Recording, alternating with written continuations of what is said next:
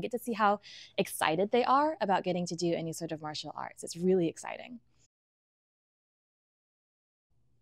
Hi, I'm Grace Killingsworth, and I am the program director at Auburn Jiu Jitsu. Um, my work includes a lot of reaching out to people and following up, getting people in for tours and meet and greets, and helping them figure out what classes they can get to and things like that.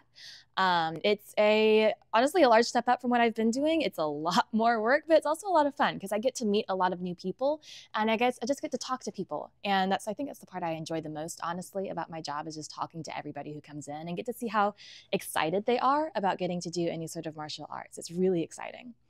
Um, I also am one of the directors of our summer camp program.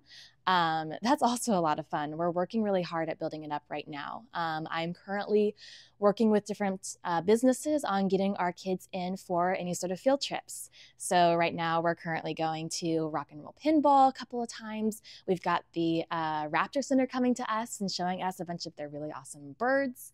Um, we've got the uh, Opelika and Auburn fire departments and police departments coming out to us to give demonstrations. It's going to be a really awesome time, and I'm really excited to see what our kids think about it.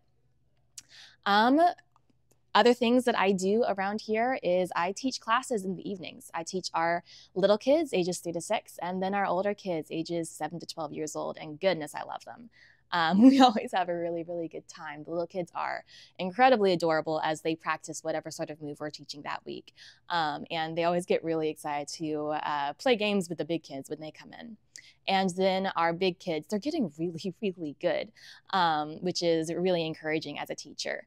Um, and so we're teaching them, you know, different takedowns and different, uh, you know, sweeps and such like that. And it's just really cool to see how good they get over a long time period and then how confident they get in themselves and what they can do. And it's just a really, really cool time.